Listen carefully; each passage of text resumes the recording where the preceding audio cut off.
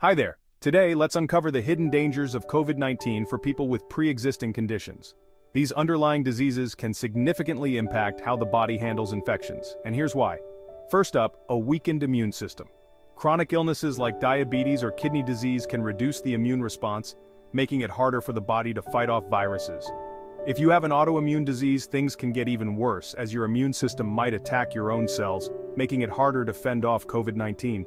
Next, let's talk about the direct impact of underlying diseases. Respiratory diseases such as chronic obstructive pulmonary disease, COPD, or asthma can make COVID-19 more severe.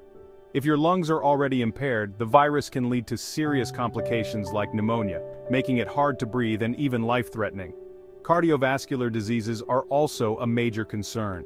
COVID-19 can put extra stress on the heart, leading to complications like heart failure.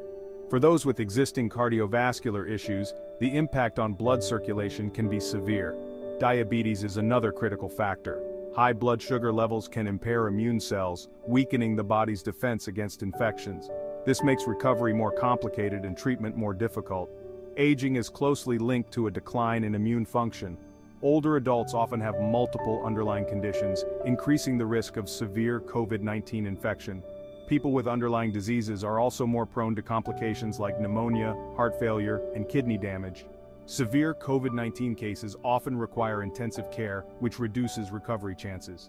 Mental and social factors play a role too. The stress and anxiety about COVID-19 can further weaken the immune system, creating a vicious cycle.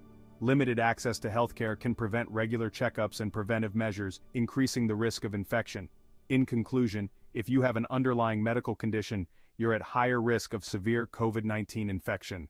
Take thorough preventive measures like vaccination, wearing a face mask, and frequent hand washing.